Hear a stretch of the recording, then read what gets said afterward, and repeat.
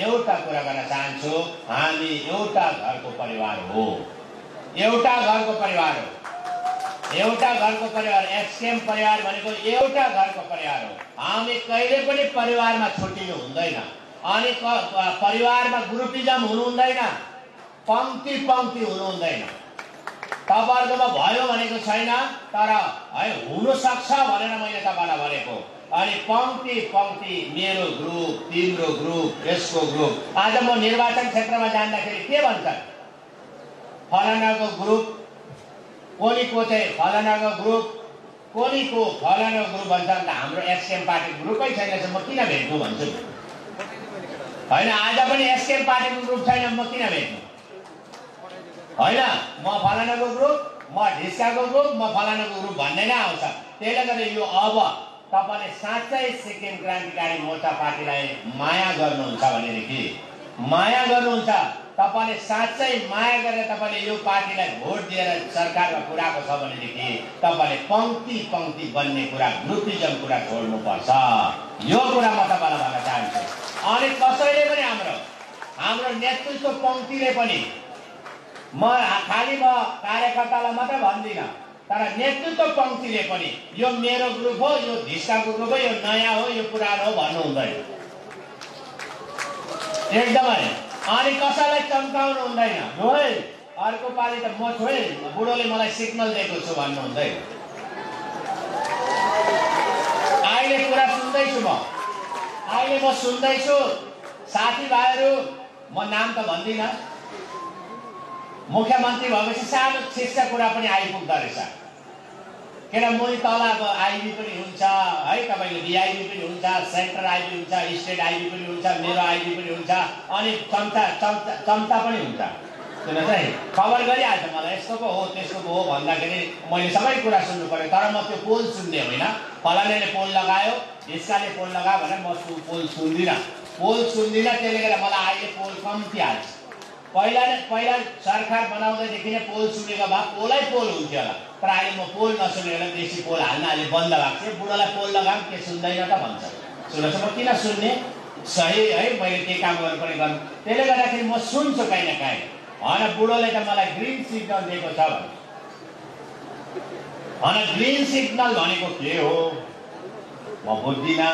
अब red signal भनेको के हो? खतरा त रेड सिग्नल हुनुपर्ने। तर ग्रिन सिग्नल त्यसले गर्दा अहिले चौबिसको चुनाव आएको छैन। अनि अहिले कसैलाई पनि ग्रिन सिग्नल दिएको छुइनँ अनि यसले गर्दा हामी सबै एउटै हो एउटै घरको परिवार हो। तपाईँले एक पार्टीमा एक भएर काम गर्नुहोस्।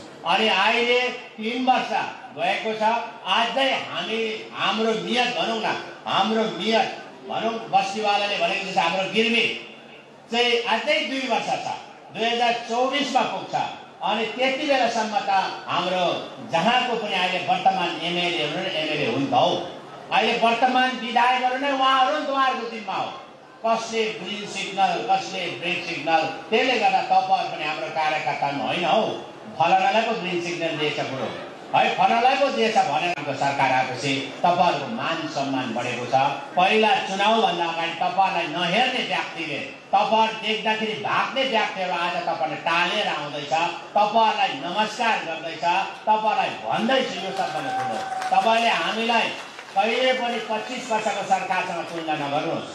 पच्चिस वर्ष सरकार चला तर के भयो त तर आज हेर्नुहोस् हामीले पाँच वर्ष नपुगिन तिन वर्षको अवधि। अनि तिन वर्षमा पनि एक डेढ वर्ष तपाईँले काट्नुहोस्। म दुई वर्ष भन्दिनँ।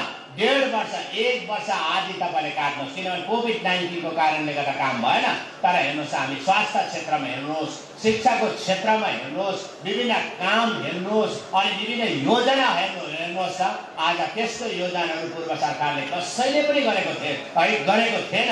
तर आज हामीले यो कम्ती अवधिमा हामीले काम गऱ्यौँ।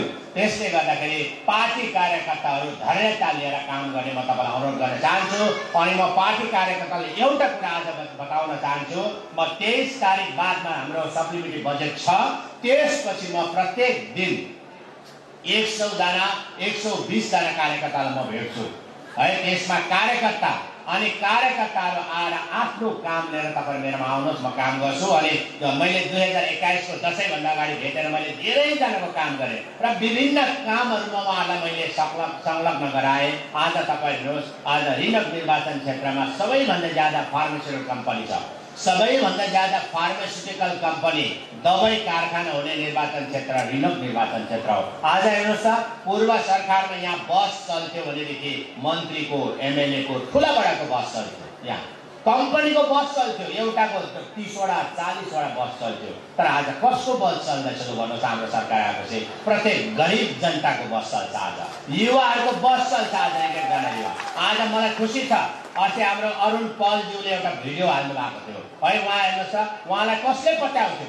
बसको मालिक हुन्छ भने उहाँलाई पत्याएको पनि थिएन अरे। यो नाथे मान्छे भन्थ्यो होला। है हाम्रो पार्टीमा गीत गायो भने आज उहाँको कम्पनीमा बस चल्दैछ भन्नुहोस् त अब उहाँको त एउटा फाउन्डेसन बन्यो नि उहाँले मन्थली तपाईँले एक लाख रुपियाँ पाउँछ उहाँले। अनि एक लाख मन्थली पाउनु भनेको कति हो भन्नुहोस् त आज जम्मै यस्तो कार्यकर्ता हाम्रो युवा भाइ बनेर हामीले तपाईँको बस गाडीहरू जम्मै बाहिर ठुला ठुला कम्पनीकोलाई निकालेर मन्त्री पूर्व मन्त्रीको है मन्त्रीको गाडीहरू निकालेर पूर्व एमएलएहरूको गाडी निकालेर अनि पूर्व मुख्यमन्त्रीको परिवारको गाडीहरू निकालेर हाम्रो युवा अनि भाइ बहिनीलाई हामीले दिएका छौँ। यति ज्यादै दिएको छ वेस्ट पाण्डवमा पनि त्यस्तै भएको छ अनि तपाईँको रिगकमा पनि भएको छ सबै निर्वाचन क्षेत्रमा नाम्चेबुङमा पनि हाम्रो युवा भाइ बहिनी पाए कसले पाएन भन्नुहोस् त? हाम्रो युवा भाइ बहिनी जसले पनि पाए युवा भाइ बहिनी पाए। आज एनएसपिसीमा जति पनि हुँदैछ अहिले कामहरू ल्याङ्कोमा काम हुँदैछ हाम्रै गाडीहरू चल्दैछ टाटा बस बलुवा सिमेन्ट बलुवा है गिटी सप्लाई गर्ने हाम्रै युवा भाइहरूले पाउँदैछ।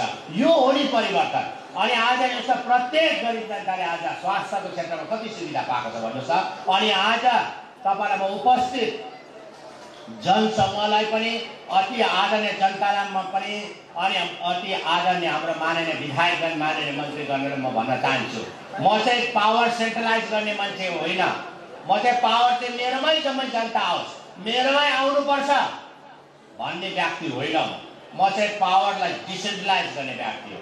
डिसेन्ट्रलाइज ताकि जनताले जसरी हुन्छ सुविधा पाओस् मलाई नभेटिकन पाओस् मन्त्री महोदयलाई नभेटिकन पाओस् एमएलएलाई नभेटिकन सुविधा पाओस् भन्ने व्यक्ति म नत्र भने त म चाहन्छु जम्मै आओस् मैले म रिकमेन्ड दिन नचलोस् यिनीहरूको केही नचलोस्। त्यसै गर्दा मैले स्वास्थ्यको क्षेत्रमा जसलाई पनि आपत पर्छ जो पनि बिमारी पर्छ जसकोमा साँच्चै सही कागज पत्र छ हस्पिटलको कागज पत्र है उहाँलाई जिनोन बिमारी छ यानि जटिल बिमारी पर्छ। यानि उहाँको रेफर भएको छ। उहाँहरूको लागि मलाई भेट्नु पर्दैन। एमएलएलाई पनि भेट्नु पर्दैन। मन्त्रीलाई पनि भेट्नु पर्दैन।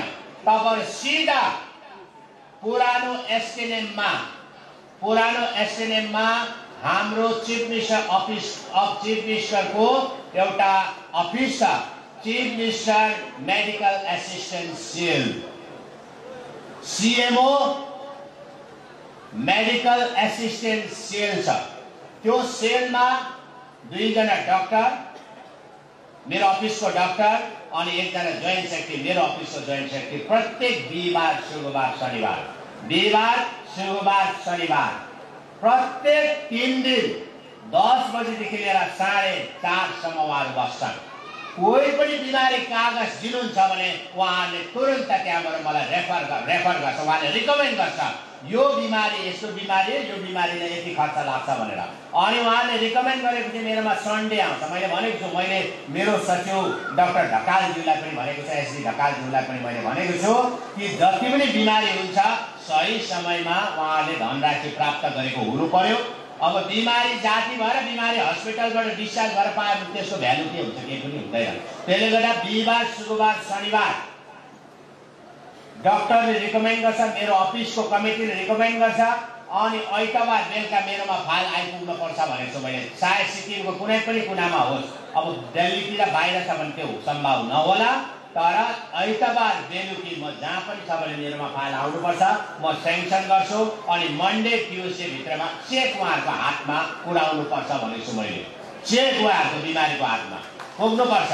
अनि यो चेक आज हेर्नुहोस् त हामीले प्रत्येक निर्वाचन क्षेत्रमा हाम्रो जनकल्याण प्रकोष्ठ गरिब जनकल्याण प्रकोष्ठका हाम्रो इन्चार्जहरू छ। उहाँहरूको मार्फत हामी प्रत्येक गरिबको घर घरमा हामी चेक पुऱ्याउँदैछौँ।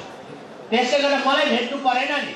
आज म आउँदाखेरि तल रेसीमा धेरैजना मैले बिमारी भेटेँ उहाँलाई मैले त्यही भनेँ आज म आएँ तपाईँले मलाई भेट्नुभयो। तर म नआएको भए तपाईँ कागज बोकेर बसिरहने त। तपाईँलाई कागज बोकेर सिधा बिहिबार शुक्रबार शनिबार पुरानो हाम्रो एसएनएमको है पुरानो एसएनएम अस्पतालको तपाईँको एउटा कोठामा हाम्रो अफिस छ बाहिर लेखेको छ चिफ मिनिस्टर